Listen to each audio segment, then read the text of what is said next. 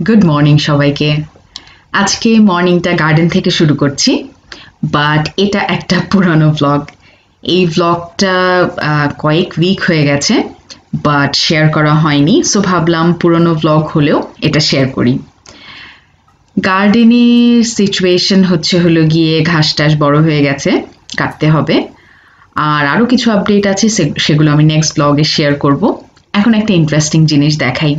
আমাদের পাশের পাশের বাসার লোক, ভাইয়া আঙ্কেল হোয়াট এভার উনি ওনার গাছের লম্বা গাছটার ডালগুলো ছাড়ছেন এবং সেটার জন্য এক ধরনের স্টিক ইউজ করছেন। আসলে বিদেশে মানুষকে বিভিন্ন রকমের কাজ শিখতে হয়, নিজের করে নিতে হয়, কারণ অন্যকে দিয়ে করাতে গেলে আসলে অনেক টাকা পয়সা খরচ হয়ে যায়। আমি কখনো এই ধরনের স্টিক দেখিনি গাছ কাটার জন্য বা জিনিসটা খুব ইউজফুল মনে হলো, সে কারণে আমি একটু ভিডিও করে নিলাম সবার সাথে শেয়ার করার জন্য।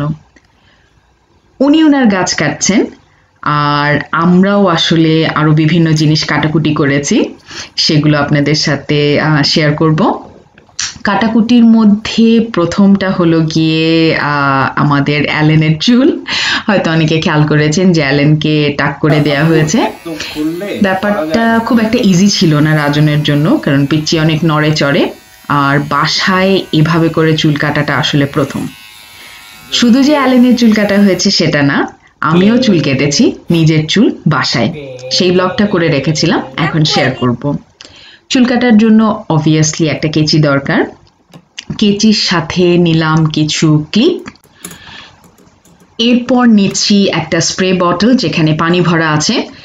এটা জাস্ট আমার রেগুলার ডিআইওয়াই স্প্রে বটল আর নিলাম কিছু হেয়ার ক্লিপস এবং লাগবে কিছু রাবার ব্যান্ডস একটা হেয়ার ব্যান্ডও নিয়ে নিচ্ছি, লাগবে কিনা আমি জানি না। আর একটা বোল নিয়ে নিচ্ছি সব কিছু যাতে এক জায়গায় থাকে ইজি হয় আর কি কাজটা করার জন্য। এবং সাথে নিয়ে নিচ্ছি একটা ওড়না, এটা বিছিয়ে আমি বসবো। চুল আমি আগে কখনোই ঘরে কাটিনি so it's my first experience আর পুরোটাই আমি ভিডিও টেপ করেছি যাতে ব্লগে আমি শেয়ার করতে পারি যদি রেজাল্টটা ভালো হয়। ওনাটা বিছিয়ে নিলাম, আর সব জিনিস এখানে রেখে তারপরে আমি একবারে বসবো। চুল কাটতে বসার পরে আমার খেয়াল হলো যে মেইন যে জিনিসটা কেচির সাথে চিরুনি, সেটাই আমি নেইনি। সো চিরুনিটা এখন নিয়ে নিচ্ছি। এবার আমি শুরু করব আমার চুল কাটা। বাট আমার তিনটা চিরুনি আছে, এর মধ্যে আমি ভাঙাটাই খুঁজে পেলাম। বাকি দুইটা যে অ্যালেন কোথায় ফেলে দিয়েছে, আমি বলতেও পারব না। যাই হোক, ভাঙা চিরুনি দিয়ে আশা করি কাজ হবে। প্রথম কাজটা হলো সিটি করা। এবং সেটাই করলাম। আমার চুল যথেষ্ট ওয়েভি আমি ইউজুয়ালি ভিডিওতে একটু আয়রন করে রাখি। প্রথমে আমি চুল সিটি করে দোনো সাইডেই আসলে ঝুটি করে ফেলছি। এবং এক সাইড করার পরে অন্য সাইডটা ভালোভাবে আছড়ে নিচ্ছি যাতে কোনো রকম জট টট না থাকে। স্প্রে বটলে পানি ভরা আছে জাস্ট প্লেন পানি, সেটাই ইউজ করছি। বাট এটা একেবারেই চুল কাটার দোকানের মতন স্প্রে বটল না। পানিগুলো অনেক ডিরেক্টলি যাচ্ছিল। এটা হচ্ছে আমার ক্লিনিং প্রোডাক্ট বানানো ডিআইওয়াই স্প্রে বটল সে যাই হোক চুলের জট ছাড়ানোটা ইম্পর্টেন্ট এবং চুলটা পানি দিয়ে ভেজানোটাও দরকার। যেটা সবসময় আমি সেলুনে দেখি যে ওরা করে। সেভাবে করেই আমি করার চেষ্টা করছি। বাট আমি তখনও জানতাম না যে আমার স্টেপসগুলো সব এক্স্যাক্টলি ঠিক আছে কিনা। যাই হোক, প্রথম কাজটা ছিল চুলের সিটি করে চুল ভেজানো এবং দুই সাইডে দুইটা পনিটেল করে ফেলা, কারণ আমি চুল কাটার কাজটা করব সামনে থেকে। এখন প্রথম সাইডের এক সাইডের চুল ভেজানো হয়েছে, আরেক সাইডের চুলেও আমি স্প্রে দিয়ে ভিজিয়ে নিলাম। দুই সাইড মোটামুটি সমানই মনে হচ্ছে। এইবার আমি কাটার কাজ শুরু করব। প্রথমেই বলে নিই, আমার কেচিটা কিন্তু প্রফেশনাল চুল কাটার কেচি না, এটা জাস্ট আমার বাসার কেচি এবং কেচিটা যে যথেষ্ট ব্লান্ট সেটা হয়তো বোঝা যাচ্ছে কারণ চুল কাটতে আমার বেশ বেগ পেতে হচ্ছিল। আর এই যে কেটে ফেললাম আমি এক সাইডের চুল, জানি না রেজাল্ট কি হবে। এইবার এই সাইডেরটা কাটবো এবং দুটা সমান হওয়াটা খুবই ইম্পর্টেন্ট এবং এই সাইডটাতে বোধহয় চুলের পরিমাণ বেশি ছিল, কারণ কেচি দিয়ে কাটতে একটু টাইম বেশি লাগছিল। আমি প্রফেশনাল না, বাসায় কাজটা করছি, কারণ আমি যে স্যালুনে চুল কাটি সেটা খুলবে হলো গিয়ে জুলাইয়ে। এবং জুলাইয়ে চুল চুল কাটার দোকান খুললেও আমি সেখানে যেতে হয়তো সাহস করব না। আমার চুল আচরণ দেখে মনে হতে পারে যে আমি চুলের উপর খুব বিরক্ত, কিন্তু ব্যাপারটা সেরকম না। চুলে স্টিল কিছু জট লেগে আছে। আমি জাস্ট এগুলো টেনে টেনে আছড়াচ্ছি যাতে এক্সট্রা কোনো চুল থাকলে সেগুলো যাতে পড়ে যায়। এটা হচ্ছে হলো গিয়ে আমার অ্যালেন ঘুমাচ্ছে এবং আমি চুল কাটার কাজটা আসলে অ্যালেনের রুমেই করছি।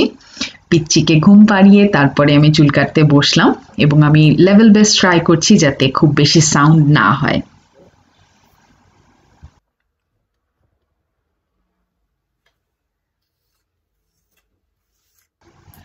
আমার প্রথম মাতবরি করা শেষ ওর বলা যায় প্রথম এক্সপেরিমেন্ট করা শেষ। এইবার আমি ভাবলাম যে let's take it to the next level আমি ইউজুয়ালি যখন সেলুনে চুল কাটি, আমি সাধারণত স্টেপ কাট দিই। সো আমার কাছে মনে হলো যে সেটাও ট্রাই করা যায়। সো আমি যেভাবে করে চুলের সিটিটা করি, অর্থাৎ সাইড ওয়াইজ সেটা করে নিলাম ক্লিপ দিয়ে বাঁধলাম, এবং দেখলাম যে মোটামুটি কি ঠিক দেখাচ্ছে কিনা। এরপরে মনে হলো যে ঠিক আছে, আমি স্টেপ কাটটাও ট্রাই করে দেখি। নষ্ট হলে নষ্ট হবে বাট লেটস ট্রাই সো আমি অল্প কিছুটা চুল সামনের থেকে আছড়ে নিচ্ছি। যদিও আমার চুল নেয়া দেখেই বোঝা যাচ্ছে যে একেবারেই কাঁচা হাতে হচ্ছে কাজটা বাট তারপরও আমি ভাবলাম কাজটা করব। স্টেপ কাটের জন্য একটা লেভেল ঠিক করে নিলাম এবং আবারও কেচিটা নিয়ে আমি চুল কেটে ফেললাম। এই পর্যায়েও আমি জানি না যে আসলে রেজাল্টটা কেমন হবে বাট আমার মনে হলো যে ফুল এক্সপেরিমেন্টেই করি। সাধারণত চুল কাটার দোকানে যখন স্টেপ কাটটা দেয়, ওরা অনেক সময় নিয়ে করে, সামনে এনে, মাপে, ঝোঁকে অনেক কিছু করে বাট আমার সেটা সম্ভব ছিল না। এখন জাস্ট আচড়ানোর পরে সামনে পিছিয়ে যেখানেই মনে হচ্ছিল যে এক্সট্রা চুল আছে, সেগুলো আমি কেটে ফেললাম। আর আমার এই চুল কাটার কথা কিন্তু রাজন কিছুই জানে না। ওকে বলা হয়নি যে আমি এখানে বসে বসে চুল কাটছি। আমার চুল কাটা ডান ইউজুয়ালি সালুনে আপনাকে সুন্দর করে হেয়ার ড্রাই করে দেয়, তারপরে ক্লিপ টিপ বেঁধে দেখায়। আমার তো আর সেটা পসিবল না। সো আমি জাস্ট জাস্ট রাফ একটা বেঁধে ক্লিপ টিপ পরে দেখলাম যে কেমন। And this is the final look যদিও এখনও গোসল টোসল করিনি। গোসল করার পর চুল ভিন্নভাবে সেট হয় but this is what I could do Allen still ঘুমাচ্ছে। পিচিটা এখনও উঠে নেই। সো ব্যাপারটা ভালো। আমি এখন চুলগুলো একটু ধরে দেখলাম আর কি, আর জায়গাটাও গোছগাছ করতে হবে। এই পরিমাণ চুল আসলে কাটলাম। জায়গা গোছগাছ করতে যাব এবং তখনই দেখলাম যে অ্যালেন ঘুম থেকে উঠে গেছে। আমি আগেই বলেছি ব্লগটা পুরনো সো স্টিল অ্যালেনের মাথায় চুল। গোসল করে একটু মেকআপ করলাম। লিপস্টিক কাজল আইলাইনার যা আমার রেগুলার মেকআপ সেটাই দিলাম এবং চুলটাকে টাইডি করলাম। আই থিঙ্ক খুব একটা খারাপ হয়নি and I'm happy with that because I just save myself forty five pounds সেলুনে গেলে ততখানিই লাগতো। ওকে এবার একটু রান্না বান্নায় চলে যাই। আজকে একটা গ্রিল চিকেনের রেসিপি শেয়ার করব, এবং যেভাবে করে দেখাচ্ছি, সেভাবে করে যদি আপনি করেন, তাহলে এটা খুব জুসি হবে। গ্রিল চিকেনটা আমি আভেনে করব, সে কারণে একটা বেকিং ট্রেতে আমি প্রথমে ফয়েল লাগিয়ে নিচ্ছি। এখন ম্যারিনেশনটা প্রিপেয়ার করব। এই গ্রিল চিকেনটার জন্য টক দই ইউজ করছি। এখানটায় গ্রিক ইয়গার্ট ইউজ করছি, যেটা বেশ থিক হয়। তিন টেবিল চামচের মতন নিলাম এবং সেই সাথে লবণ দিয়ে দিচ্ছি। লবণটা অবভিয়াসলি আপনি আপনার আপনার টেস্ট অনুযায়ী দিবেন। দিয়ে দিচ্ছি একটু গোলমরিচ। এটা কমপ্লিটলি আপনার ব্যাপার, আপনি দিবেন কি দিবেন না। হলুদ দিয়ে দিচ্ছি এবং এরপরে অ্যাড করছি একটু লাল মরিচের পাউডার বাসায় ছোট বাচ্চা থাকলে এটা অবভিয়াসলি আপনি আপনার প্রয়োজন মতো কম বেশি করে নেবেন। এখন দিয়ে দিচ্ছি একটু জিরার গুঁড়া। পাউডার মশলাগুলো আর টক দই সুন্দর মতন মিক্স করে নিচ্ছি।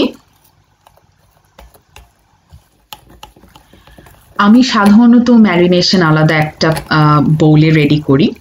অনেকে ডাইরেক্ট মাংসর উপরে দিয়ে দেন। আমার কাছে ডিফারেন্ট একটা বৌলে জিনিসটা প্রিপেয়ার করতেই বেটার মনে হয়। এখন এতে দিয়ে দিচ্ছি একটু পানি, যাতে মিক্সচারটা একটু স্মুথ হয় আর রানি একটা কনসিস্টেন্সি থাকে। ভালো মতন মিক্স করে নিতে হবে। আমরা বাসায় গ্রিল চিকেন রেগুলার বেসিসেই করি, প্রচুর গ্রিল চিকেন খাই এবং বিভিন্ন ধরনের রেসিপি আছে, আমি হয়তো একটা একটা করে অনেকগুলোই শেয়ার করব। এখন একটু তেল দিয়ে দিচ্ছি মিক্সচারটার ভিতরে। আরও তেল ইউজ করব বাট সেটা পরে। এখন জাস্ট ম্যারিনেশনটা ফুললি প্রিপেয়ার করার জন্য।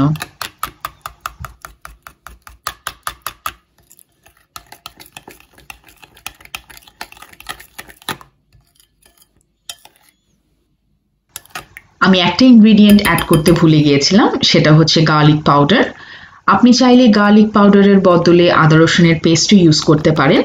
আমি সাধারণত গার্লিক পাউডারটাই ইউজ করি। ম্যারিনেশন ইজ ডান এবার আমি নেক্সট স্টেপে চলে যাচ্ছি, সেটা হলো পেঁয়াজ নিয়ে নেয়া। আমি এই রেসিপিটার জন্য দুটা পেঁয়াজ ইউজ করছি। লাল, সাদা, হলুদ, যে পেঁয়াজ আপনার ইউজ করতে ইচ্ছা করে আপনি সেটাই করতে পারেন। ইউজুয়ালি লাল পেঁয়াজের নিউট্রিশনাল ভ্যালু বেশি থাকে। কিন্তু লাল পেঁয়াজ ইউজ করলে আপনার ফাইনাল গ্রিলিংটা একটু ডার্ক হবে কালার ওয়াইজ আর আপনি যদি সাদা ইউজ করেন, তাহলে একটু লাইটার হবে। পেঁয়াজগুলো আমি জাস্ট চাক গোল গোল করে কেটে নিচ্ছি। এবং পেঁয়াজ ইউজ করার কারণ হচ্ছে এটা চিকেনটাকে জুসি রাখবে। কীভাবে রাখবে সেটা আমি আস্তে আস্তে এক্সপ্লেন করব। ফার্স্টে আমি পেঁয়াজগুলো প্রিপেয়ার করে নেই।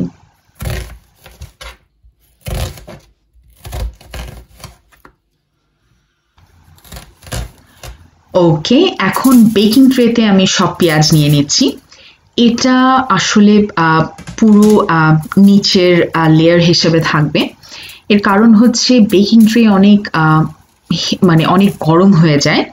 অনেক সময় দেখা যায় যে আপনার যেটা গ্রিল করছেন সেটা পুড়ে যায়। সো আপনি যদি এভাবে করে কোনো সবজি বা পেঁয়াজ কোনো একটা কিছু লেয়ার একদম নিচে রাখেন, তাহলে সেটা যেমন আমি যেমন আজকে চিকেন করছি, এটাকে বেকিং ট্রের সাথে অতখানি লাগতে দিবে না। সো পুড়ে যাওয়ার চান্সটা কমে। এখন আমি নিয়ে নিচ্ছি একটা পলি ব্যাগ কারণ আমার কাছে হ্যান্ড গ্লাভস নাই বাসায়। এবং আমি ইউজুয়ালি এই ব্যাগগুলোই ইউজ করি মাংস হ্যান্ডেল করার সময়। কাজ চলে যায়, কাজ চলে গেলেই হলো। জাস্ট হাতের মধ্যে পরে নিলাম। এখন মাংসগুলো আমি একটা একটা করে দিয়ে দিব। আপনি চাইলে ডিফারেন্ট একটা বোলে মাংস মিক্স করে তারপরও এখানে দিতে পারেন। আমি ইউজুয়ালি এই পদ্ধতিতেই করি। সবগুলো মাংস বিছানো হয়ে গেলে এখন ম্যারিনেশনটা মাংসের উপরে দিয়ে দিব। আমি আসলে যখন কোনো রেসিপির ভিডিও করি, আমি ইউজুয়ালি ইন ডিটেইলেই দেখাই এবং ইন ডিটেইলেই বলতে পছন্দ করি। একটু বোরিং মনে হতে পারে বাট আমি নিজে যখন কোনো রেসিপির ভিডিও দেখি, আমি এক্সপেক্ট করি যে খুব ডিটেইলে দেখাবে এবং স্টেপগুলো এক্সপ্লেইন করবে। হাতে পলিথিন পরে নিলে আসলে কাঁচা মাংস খুব একটা হ্যান্ডেল মানে হাত দিয়ে হ্যান্ডেল করা লাগে না। আর যাদের বাসায় গ্লাভস আছেন, তারা তো আসলে রেগুলার বেসিসে গ্লাভস পরেই করে সো মাংসগুলো আমি এখন জাস্ট ম্যারিনেশন দিয়ে মাসাজ করে দিচ্ছি। জাপানিজরা নাকি তাদের মাংস সুন্দর করে মাসাজ করে এবং এতে নাকি টেস্টটা খুব ভালো হয়। সেটাই করছি।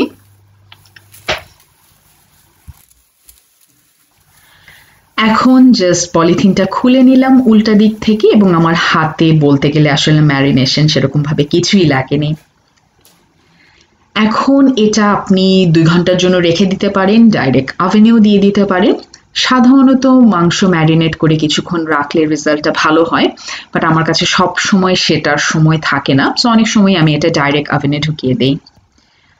দুই ঘণ্টা ম্যারিনেট হওয়ার পরে এখন আমি ফাইনাল তেলটুকু অ্যাড করে দিচ্ছি। এই তেল দেওয়ার কারণে মাংসগুলো সহজে ড্রাই হয়ে যাবে না। এখন আভেনে দিয়ে দিব টু হান্ড্রেড ডিগ্রিতে। প্রথমে ফার্স্ট সাইডটা বিশ মিনিটের মতন আমি গ্রিল করব এবং খেয়াল করেছেন কিনা আমি জানি না, আমি কিন্তু স্কিন সাইডটা নিচে রেখেছি। স্কিন সাইডটা নিচে রাখার কারণে আসলে স্কিন থেকে যদি কোনো স্কিন থেকে তো প্রচুর তেল বের হয়, সেগুলো বের হয়ে গ্রেভির সাথে মিশে যাবে। আমি এখন স্কিন সাইডটা উপরে করে দিচ্ছি। কারণ ফাইনালি আমি চাই যে এই সাইডটাই ভালোভাবে ক্রিস্পি হোক। সো আপনি সেমভাবে করলে আসলে রেজাল্টটা ভালো হয়। সবগুলো মাংস উল্টে দেওয়ার পরে আমি একটু পেঁয়াজ আর একটু গ্রেভি আসলে উপরে দিয়ে দিচ্ছি। কারণ এবার আমি আসলে ফাইনালি আভেনে দিব। এবং এইবার আভেনে মাংসগুলো আবারও বিশ মিনিটের মতন হবে। বাট এটা অনেকটা ডিপেন্ড করে হলো কি আপনি কীরকম ডান চান, কীরকম ক্রিস্পি চান সেগুলোর উপরে। বাট মোটামুটি বিশ মিনিট এই এই সাইড আর বিশ মিনিট ওই সাইড দিলেই হয়ে যায়।